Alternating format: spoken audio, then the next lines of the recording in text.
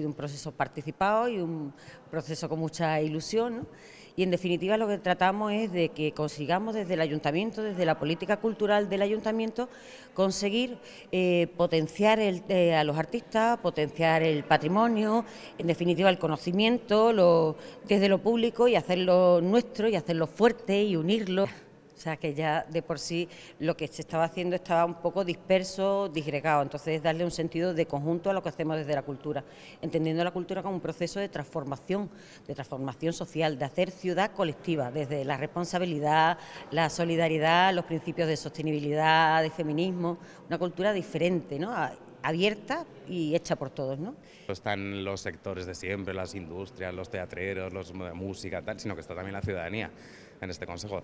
Hemos abierto unos canales de participación también, a partir de unas herramientas, en la que la ciudadanía puede tener su representación en el Consejo de Cultura, con lo cual ahí el ciudadano ciudadana va a decidir también qué quiere que pase en esta ciudad.